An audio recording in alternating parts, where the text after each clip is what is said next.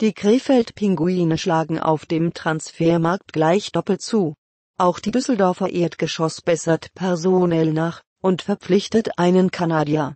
Die Krefeld-Pinguine aus der deutschen Eishockeyliga, DIL, haben auf ihre Verletzungsmisere reagiert und drei Spieler aus der zweitklassigen DEL 2 verpflichtet.